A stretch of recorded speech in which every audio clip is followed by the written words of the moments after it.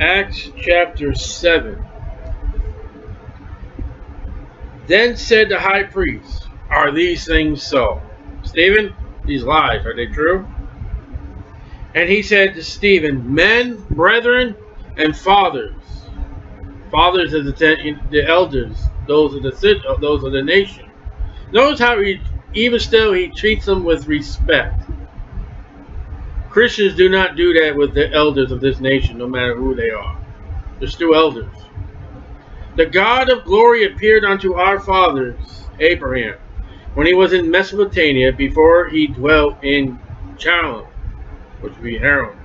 Genesis 11. Stephen is going to go through the entire history of the nation of Israel, as we see in the Old Testament. Stephen is well versed in history. Many today don't even know church history. And said unto him, Get thee out of thy country, and from thy kindred, and come into the land which I shall show thee. Now, Stephen's got a great message here. The priests and all them, like, yeah, all right, yeah, that's us. All right. Thank you, Stephen. Praise the Lord, Stephen. Amen. Then came he out of the land of the Chaldeans and dwelt in Charran. And from thence when, when his father was dead, he removed him into this land, wherein ye are now dwell Israel. Amen, Stephen. Right. Okay. And he gave him none inheritance in it. No, not so much to set his face on it. Oh. Oh. Yeah, it's true. Abraham did not get the land. Yet he promised that he would give it to him for a possession, and to his seed after him, when as yet he had no child. Amen. Okay, glory to God. And God spake on this wise, that his seed should sojourn in a strange land, Ugh. and that they should bring them into bondage, Ugh. and entreat them evil 400 years. Ugh. We don't need to talk about that, Stephen. That's not good. Notice how Stephen's going from Genesis. We haven't reached Exodus yet, but he's, he's saying everything that's happened so far in Genesis. We're going to go through the books of the Bible, the Old Testament, through Stephen, in its proper order. And the nation to whom they shall be in bondage will I judge, say God. Yeah, all right. Yeah, those, those Egyptians. God did get them. Yeah, right. After that, they should come forth and serve me in this place. Yeah, right. Good going, Steve. Yeah. And he gave them the covenant of circumcision. Ouch. Yeah, okay. And so Abraham begat Isaac, no Ishmael. And circumcised him the eighth day, and Isaac begat Jacob, and Jacob begat the twelve patriarchs. No Esau, no Ishmael bad boy Stephen. Imagine that, not including those two wicked, perverse boys of the, the patriots. He did not mention the sinners cast out by God. Stephen, bad boy. Stephen, good Bible man. He doesn't give men that don't deserve a charge any charge. And the patriots, moved with envy, sold Joseph into Egypt. Uh, what are you going to mention that for? But God was with him. Oh, yeah, okay. You see the ups and downs of Stephen's message? Yay! Oh, yay! And delivered him out of all his afflictions, and gave him favor and wisdom in the sight of Pharaoh, king of Egypt, and he made him governor over Egypt and all his house. We're still in Genesis. Yay! Now came a dearth over the land of Egypt and Canaan, and great affliction and our fathers found no substance. Oh, that was a trying time. Oh. But when Jacob heard that there was corn in Egypt, he sent out our fathers first, the ten brothers. Not the eleven, the ten. Remember, he kept Benjamin behind. So uh, Stephen knows the history. At the second time, Joseph was made known to his brethren, and Joseph's kindred was made known unto Pharaoh. All right.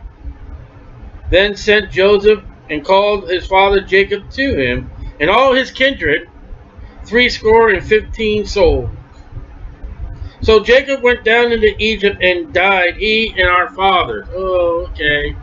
We didn't die, and they died not in the land. They died in a place where God never really wanted them. Um, and were carried over into Shechem and laid in a sepulchre that Abraham bought for a sum of money of the sons of Emmor, the father of Shechem. That's recorded in Genesis. But when the time of the promise drew nigh, all right, Stephen, which God had sworn to Abraham, the people grew and multiplied in Egypt. Yeah! They multiplied during persecution. As the church will multiply in persecution. Now we've entered the book of Exodus. We finished Genesis, Exodus. Till another king rose which knew not Joseph. The same dwelt subtly with our kindred, and evil entreated our fathers, so they cast out their young children to the end they might not live. Oh. Yeah, that part of our history. In which time Moses was born, was exceedingly fair, and nourished up in his father's house three months. Yeah, Moses, all right. And when he was cast out, Pharaoh's daughter took him up and nourished him for her own son. Yeah, right, Moses. And Moses was learned in all the wisdom of the Egyptians, and was mighty in words and deed. Really? He told God, I'm not elegant in speech. Moses was a liar. But we're all sinners. And when he had when he was full 40 years old, it came to his heart to visit his brethren, the children of Israel. And seeing one suffered wrong, he defended him and avenged him and was oppressed and smote the Egyptian. Yeah, right, Moses, go for it. For he suppressed his brethren would have understood how that God by his hand would deliver them, but they understood not. It wasn't by Moses to be by God. And the next day he showed himself unto them as they strove, they fought, and would have set them one again, saying, Sirs, ye are brethren, why do you wrong among one to another? But he that did his neighbor wrong, the guilty party, thrust him away, saying, Who made thee a judge? Who made thee a ruler and a judge over us? Wilt thou kill me as thou didst the Egyptian yesterday? Uh-oh. Moses was a murderer.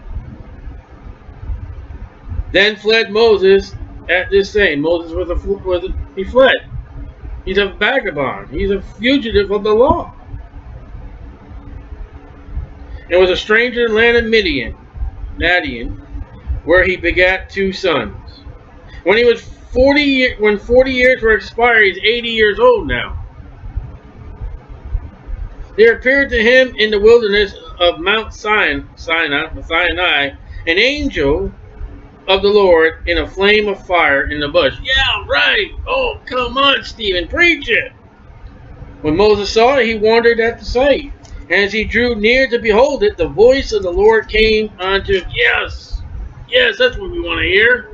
Tell us, saying, I am the God of thy fathers, the God of Abraham, the God of Isaac, the God of Jacob, not the God of Ishmael, and not the God of Esau. Stephen, you did it again. You left out those two people. So don't take all magazines you see in rack at the checkout center as being correct and positive. Then Moses trembled and durst not behold. Then said the Lord to him, Put off thy shoes from thy feet. Stephen knows the Bible. Where has he been wrong? And he's even told us more details and some things that we didn't even know. Put off thy shoes from thy feet, for the place where thou standest is holy ground. Some Oriental homes, you got to take off your feet before you enter. I guess that's a holy place. Take off their feet. Feet? I say feet? Yeah. Don't take off their shoes. Leave your feet. Well, that's a little holy ground. I mean, some people, their homes, you know, you, you can't touch nothing. It's a shrine. I've been in a house like that. My whole childhood. Things you couldn't touch.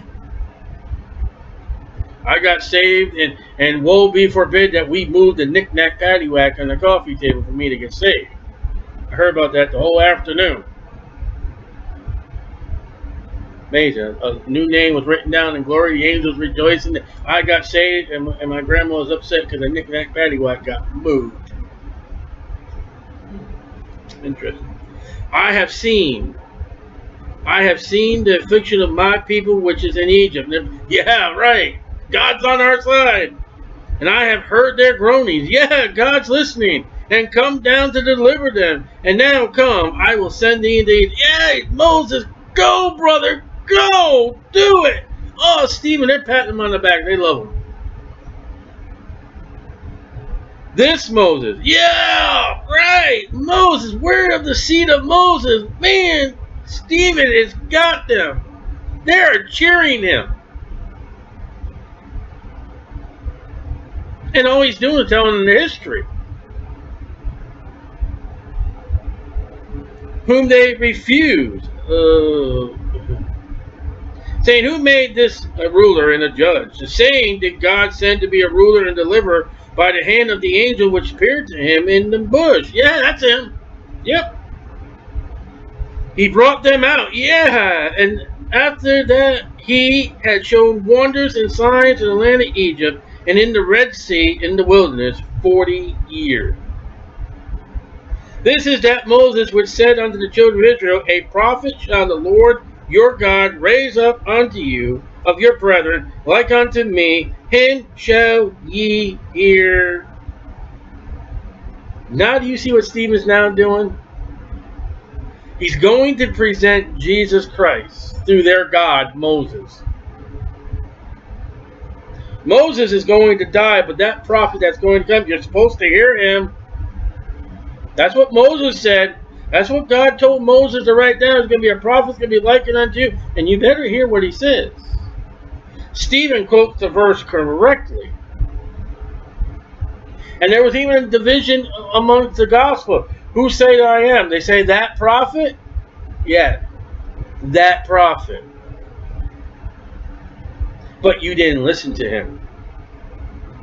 This is he that was in the church of the wilderness which the angel would speak to him in the Mount Sinai or Sinai.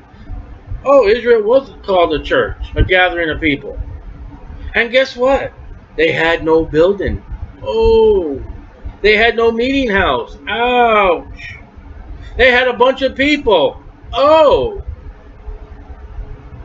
Sticks and stones is not the church. And in this church, boy, they had a bunch of people that rebelled and, and hit the preacher and the associate preacher and their sister very hard. They gave Moses a hard time and Aaron a hard time. Even Aaron and their sister gave the preacher a hard time. This was your mega church, and boy, I tell you, Moses, he, I, I think Moses had any peace, but what peace God gave him. And they angered God by this mega church often and they angered the preacher often. Had God and Moses in this mega church ever got mad at the congregation together, ooh, that would have been it. Mega church gone.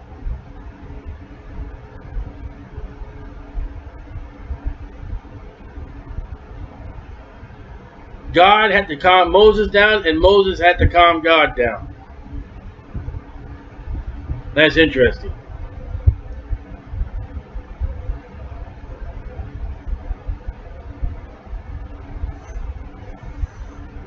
This is he that was church in the wilderness, which the angel spake to him in the Mount Sinai, with our fathers, who received the lively oracles to give unto us the Ten Commandments. Yes, right.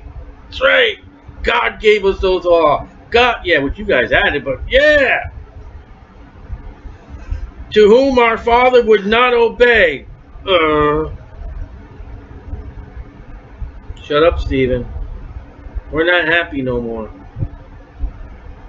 but thrust him from them, And in their hearts turned back unto Egypt. Stephen, you're crossing the line. This is not a happy message no more. You're going to break your bounds. You're going to get us angry. Get back to the lovey-dovey happy stuff, will you? Say unto Aaron, Make us gods to go before us. For as this Moses, yea, which brought us out of the land of Egypt, we wot not what is become of it. You're doing it again, Stephen. You're making us mad. You're doing good. And they made a calf in those days, and offered sacrifice unto the idol, and rejoiced in the works of their own hands. Then God turned and gave them up to worship the host of heaven, the stars. As is written in the book of the prophets, O ye house of Israel, have ye offered to me slain beasts and sacrifices by the space of forty years in the wilderness? Ooh, now, book of Amos. I'm angry with you guys. God speaking. They're angry with Stephen now. And God is angry because they're angry at Stephen and Stephen's telling them the truth. What lie has he told?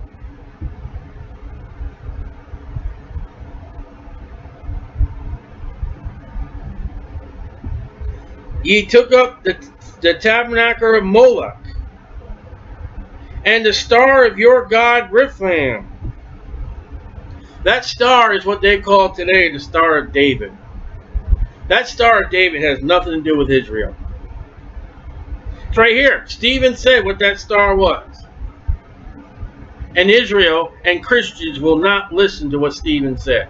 That's the Star of Remphan.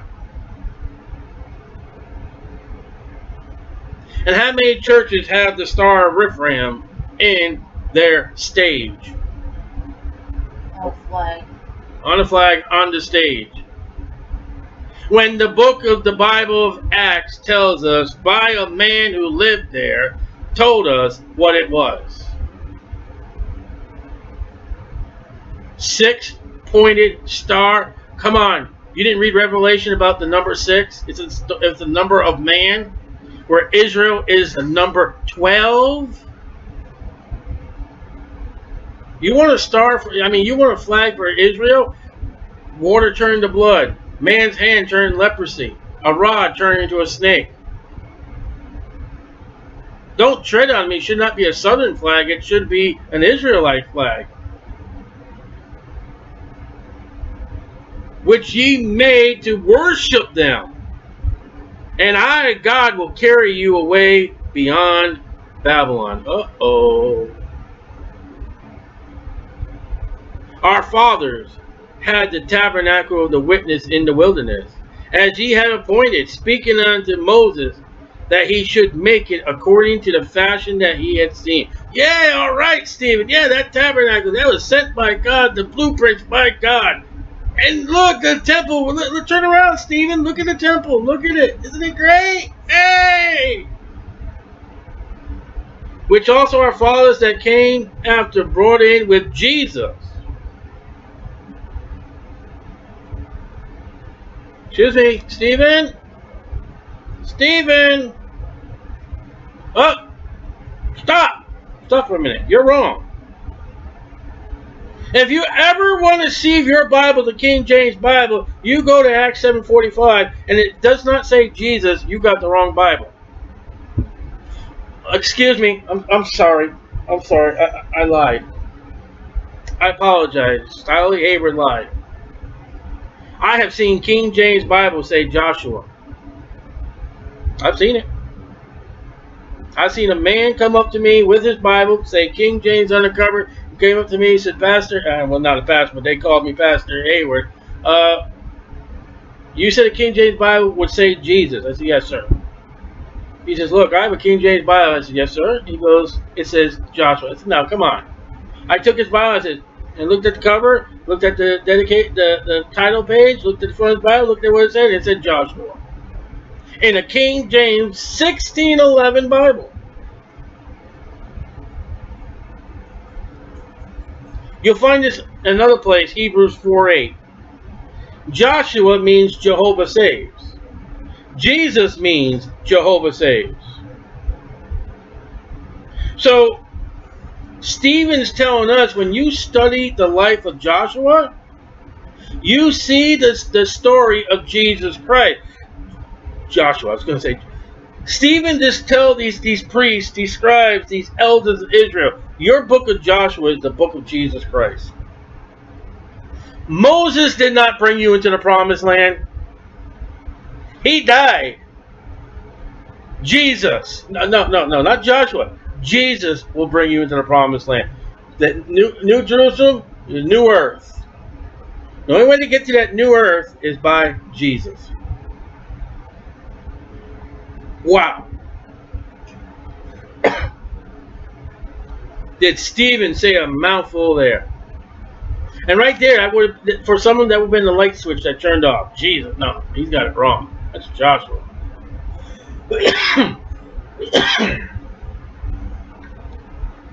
Into the possession of the Gentiles, the Moabites. I mean, not the Moab, the Canaanites, the Hittites, the you know all the other ites in the land. That was that was that was Gentile. That was Hamites. We have now gone from Genesis, we've gone to Exodus, we're now in Joshua. We've already looked at the law. We're in Joshua now.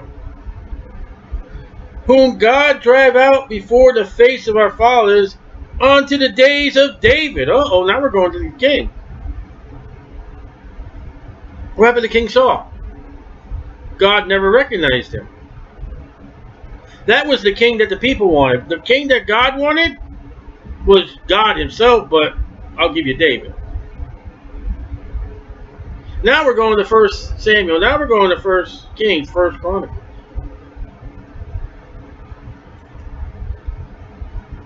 Who found favor before God and desired to find a tabernacle for the God of Jacob. All right, Stephen. Yes, you're back on the ball here. Look at it. Turn around. Look, there it is. There's what David wanted to do. But Solomon built him a house. And I go, why didn't David build a house? Oh, yeah. Okay. A little murder, a little adultery. Oh. Let's, let's, let's get that out of our history, okay? And even today, 2016, if you can find, there's a there's a movie out there, David and Bathsheba. And they blot out the nudity, but it, there's there's a movie still making fun of David and Bathsheba, which God said to David, you, "You've caused people to mock me." The movie's out. That man, that great man of God, sleeping with a woman he shouldn't be, and killed her husband. Stephen, knock it off. Will you stop bringing up our sins? We want to hear the good parts. We don't want to hear the sinful parts. Stephen is preaching the good and the sin. If you ain't got sin in your message, you ain't got no message. But Solomon built him a house. Now it's questionable. Is that he built Solomon house or he built God a house? Could be God, but Solomon also spent more days than he did on God's house. Remember re the recording? It said uh, it took this amount of years for God's house, and then it took longer for Solomon's house. That could be a, that that could be taken both ways for these men. Like, yeah, Solomon built the temple, but he also spent a little more time in his own house. Stephen, knock it off. And there are people who probably sit in churches when, pre when they're invited to a church and when the preacher preaches what he's supposed to be, they probably sit in that pew saying, wish you knock it off. It's almost noon. Let's get out of here. Howbeit the Most High dwelleth not in temples made with hands, as saith the prophet. Ooh, he just shut that temple down. He committed the unpardonable sin amongst these priests. Even the, the, the disciple, Lord, don't you see the stones? Oh, yeah, but they're going to be trodden down. Remember one of the, the final charges they brought about Jesus? he's going to destroy the temple in three days. He's going to destroy the temple in three days, build it back up. Man, they thought they were talking about that building. They thought he was going to go in there with dynamite or plastic explosions and blow the place up. But he was speaking about his own body. Heaven is my throne. Ooh. You ever think about that? And the earth my footstool. What is Mother Earth? It's a place where God put his feet up and say, ah. Oh. It's where my feet go. You know that part of Jesus' body that you had to be washed wherever he went? You know, Jesus' feet did get dirty.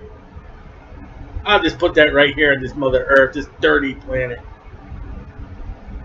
I think Mercury and Venus, I think, are gas planets.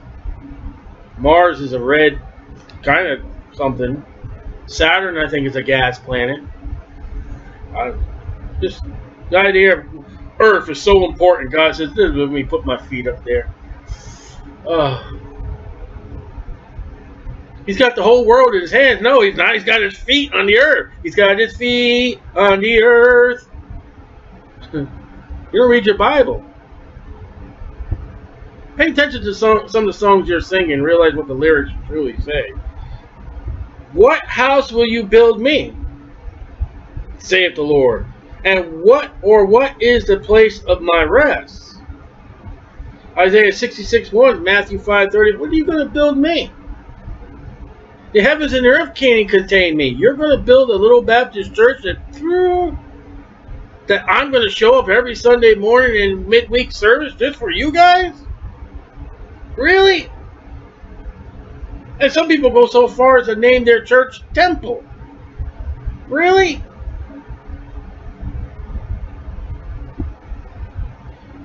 Has not my hand made all these things? So you're going to take tree that God said, let there be trees, and cut it down and cut it up to make something for God when it wasn't for God, you wouldn't have a tree to build. So you didn't do nothing. God provided you everything that you needed to be done to do what you wanted to do, which God made you. And if He didn't make you, you wouldn't be there. Didn't make the trees. You couldn't do what you wanted to do. So it's all God. Ye, oh, Stephen. This is not an altar call that you would do. Ye stiff neck and uncircumcised and heart and ear. Wow, Stephen. You're not they're not coming back next week. Not with a message like that. Ye do always resist the Holy Ghost. They're definitely not coming back. They're going to go to the people friendly seeker church. As your fathers did, so did ye father like son. And you know what? Who preached that message over and over? Jesus did. So not only did they hear this message from a man that they killed, supposedly alive today, but now they're hearing from the prophets what they've read, the Old Testament. Now they got a man standing up listening that is in their console quoting the Old Testament scriptures that they know of, nailing them down as you are no different from your fathers. That's why Stephen ran the whole history. The whole history of Israel is you failed, you failed, you failed, you failed, you failed. They saw, yay, yay, yay, yay. Look at that. Yeah, Moses, Abraham, yay. And Stephen says, no, no, no. If there's one thing you are to learn from our fathers, they're wicked and they're sinners and they disobeyed God. You too.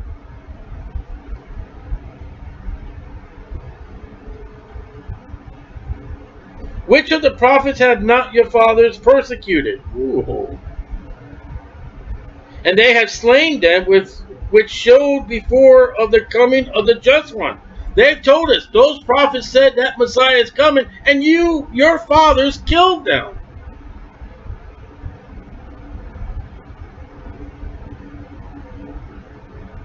I if the collection plate's already been passed.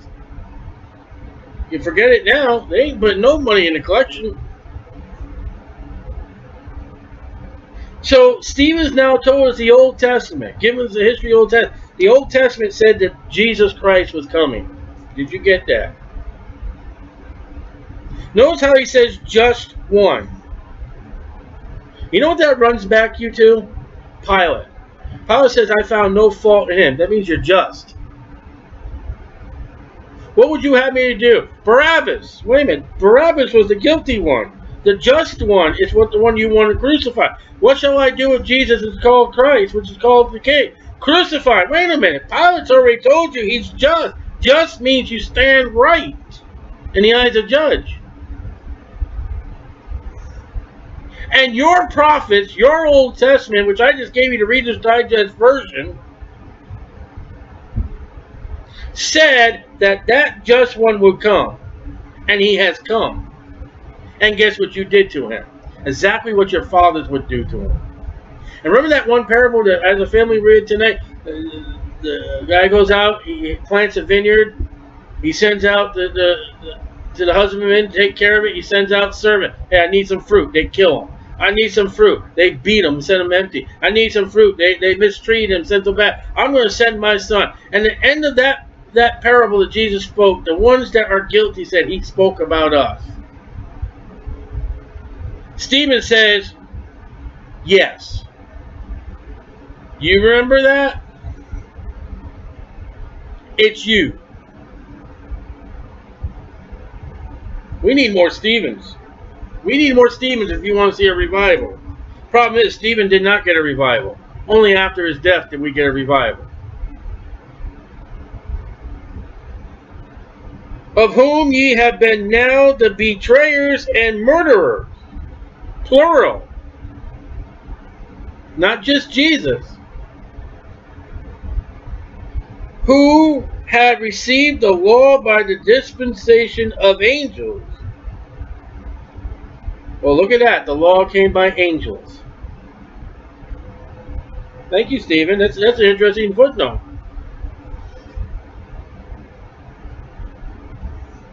Jesus, the law says that you and disciples are supposed to wash your hands. You didn't wash your hands. What are you guys doing picking up the grain of corn? You're not supposed to do that. The Don't you hear that guy in the law said,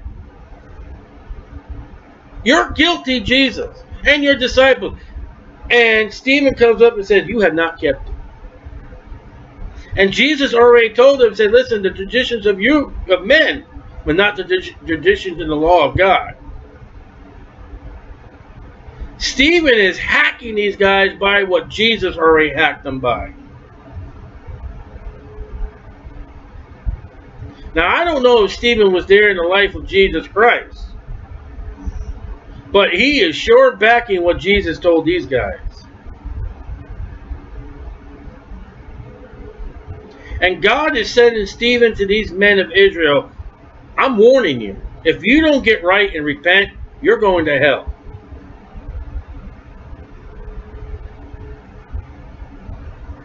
I if he was loud. Sorry. Just personal thing there. When they heard these things, they were cut to the heart. And we saw that expression earlier in chapter 5, verse 33. Cut to the heart. This is not the good cut to heart. They're angry. They're not going to repent. They're not going to get right. And they gnashed on him with their teeth. That's what Jesus says they do in hell. They gnash their teeth. They are chewing the pastor out, literally. It is Stephen Bubblegum time.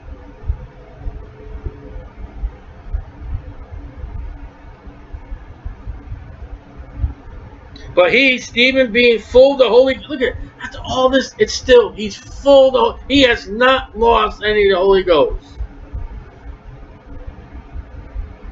Looked up steadfastly into heaven and saw the glory of God. Now watch this. Watch this. What these men do will change the history of Israel for thousands of years, I can say safely. Jesus standing on the right hand of, the, of God. You know what would happen if these men would receive Stephen his preaching? Jesus would have came. He's standing.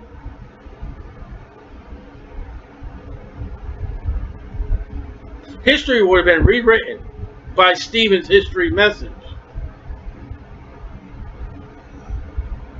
You really believe that? Yes, I do. The free will of man is Jesus standing. Man, they receive Stephen his words, I'm coming. It's a free will. God already knew they would reject, but he's standing there like, if they do, if they do, I'm coming.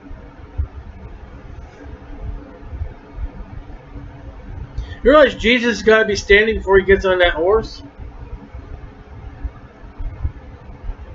He's not going to float on a chair. He's not going to be sitting on a saddle, point on a horse. On the right hand of God. That's where he went in Acts 1. And said, Behold, I see the heavens open, rapture.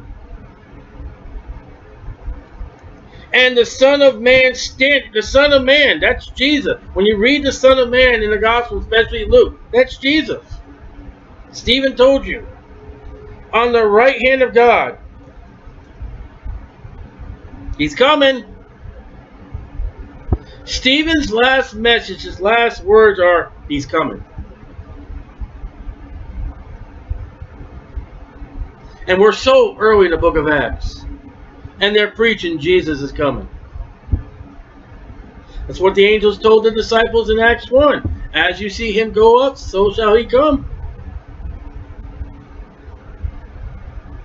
Then they cried out with a loud voice, stopped their ears, and ran upon him with one accord, and cast him out of the city, and stoned him. Had the prophecy of Jesus said not a bone of him been broken, that's exactly what would happen to Jesus.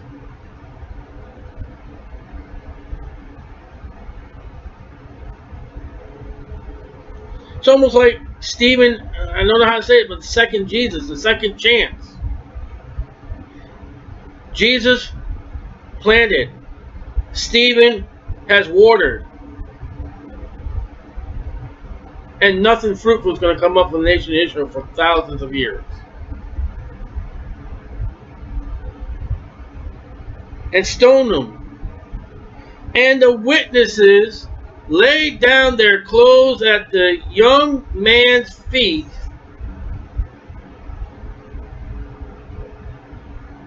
What was that rich young ruler's adjective in the Gospels?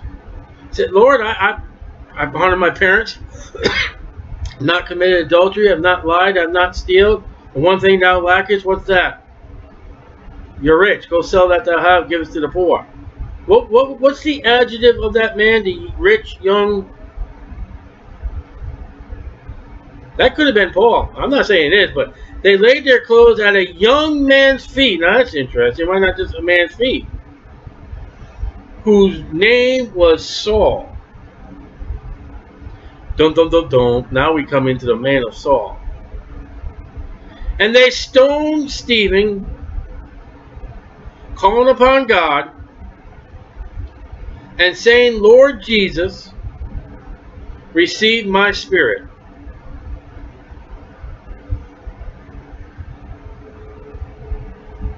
God loves his children, doesn't he? It looks like it took a long time for them to kill Stephen by stoning. He has enough time to say, I see Jesus standing. He has enough time to say, Lord Jesus, receive my spirit. He kneeled down and cried with a loud voice, Lord, lay not this sin to their charge. He reversed Jesus. Jesus said first, Father, forgive them, for they know not what they do. Then Jesus said, Lord God, Father, receive my spirit. See, man, we think of ourselves first. That, that's our nature. Look, that's what we are. Us first. And when he had thus, when he had said this, look what the Bible says. He fell asleep. Absent from the body, present with the Lord. 1 Thessalonians 4.13, 1 Corinthians 15.59. People who are in the Lord don't die.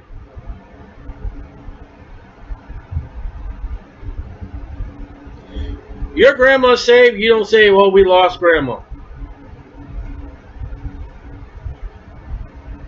You say that about someone who's, who's lost. Don't say, don't come up with testimony and say, oh, my mom, she's saved, she's wonderful, all that. Uh, how's your mom doing? Oh, we lost her. no, she's asleep. Lazarus was asleep. But we go to see him. Well, you know, Lord, it does good that uh, Lazarus is dead. So, you ever wonder why they put padding and pillows and blankets in a coffin? Because the Bible says they sleep. Other than that, it's just a piece of junk that you pay more money for. I've been through that. You have to pay for that junk. I asked not to. I asked for just a wooden box. They can't do that no more. You got to put pillows and all that other in there. Because the Bible says you can't escape from the Bible. They're sleeping. That's why they need a pillow. Isn't that remarkable?